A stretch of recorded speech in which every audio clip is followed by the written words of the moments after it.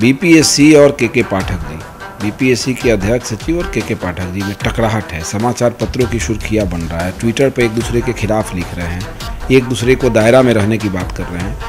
तो क्या अभ्यर्थी को नहीं लगेगा कि जहाँ पर अधिकारी आपस में लड़ रहे हैं तो कहीं ना कहीं इनका निजी स्वार्थ है?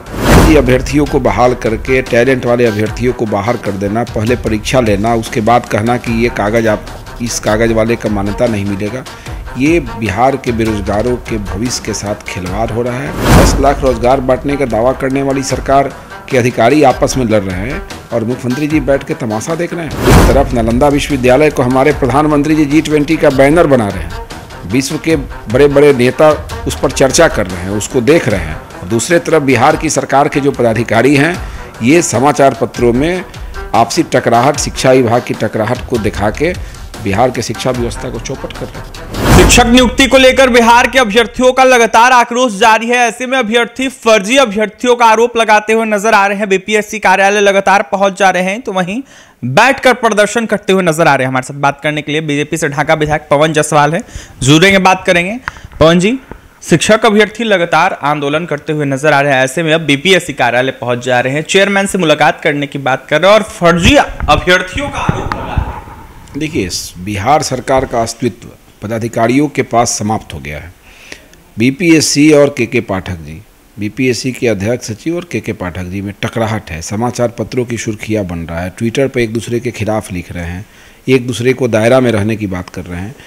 तो क्या अभ्यर्थी को नहीं लगेगा कि जहाँ पर अधिकारी आपस में लड़ रहे हैं तो कहीं ना कहीं इनका निजी स्वार्थ है? फर्जी अभ्यर्थियों को बहाल करके, टैलेंट वाले अभ्यर्थियों को बाहर कर देना, पहले परीक्षा लेना, उसके बाद कहना कि ये कागज़ आप इस कागज़ वाले का मान्यता नहीं मिलेगा। ये बिहार के बेरोजगारों के भविष्य के साथ खिलवाड़ हो रहा है। उनको प्रताड़ना दी जा रही है। इसकी जितनी भी निंदा की जाएगी कम होगा। और सरकार को तत्क्षण ऐसे मामलों में संज्ञान लेने की ज़रूरत है क्योंकि बिहार के नौजवानों के भविष्य का मामला है। दस लाख रोज़गार बांटने का दावा करने वाली सरकार के अधिकारी आपस में लड़ रहे हैं और मुख्यमंत्री जी बैठ के तमाशा देख रहे हैं। ये काफ़ी दुखद है। शिक्षा के लिए शिक्षा व्यवस्था को बदनाम कर रहा है। सरकार के अंग जो हैं, एक तरफ़ हमारे प्रधानमंत्री जी जी ट्वेंटी का पीछे का बैकग्राउंड लगा रहे हैं नालंदा विश्वविद्यालय को। एक तरफ़ नालंदा विश्वविद्यालय को हमारे प्रधानमंत्री जी जी ट्वेंटी का बैनर बना रहे हैं।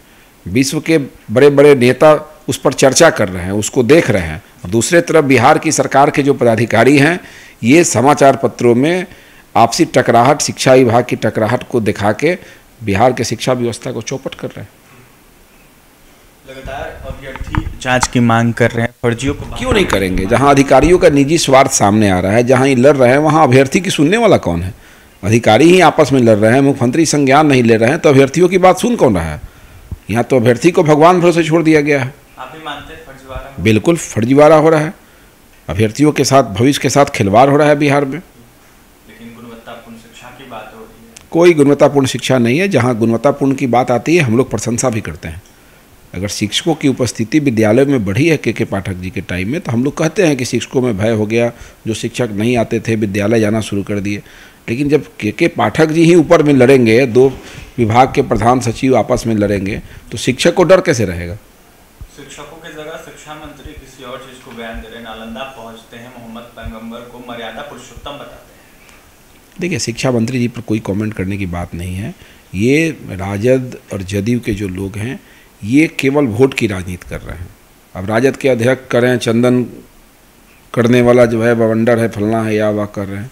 दूसरे तरफ़ उनके राष्ट्रीय अध्यक्ष जी, लालू जी जो है, देवघर में पूजा कर रहे हैं, थावे माता में जा रहे हैं, दर्शन कर रहे हैं। तो इनके राष्ट्रीय अध्यक्ष, सनातन धर्म को मान रहे हैं, तब ना प्रणाम कर रहे हैं। जो जिस धर्म से आता है, उसको अपने धर्म के प्रति आस्था होगा। और उस प्रदेश अध्यक्ष जो है, अनावश्यक जो है, हिंदू धर्म के खिलाफ में, सनातन धर्म के खिलाफ में, चंदन टीका के खिलाफ में बयान दे रहे हैं। इनकी क्या पद्धति है, ये समझ से बाहर है।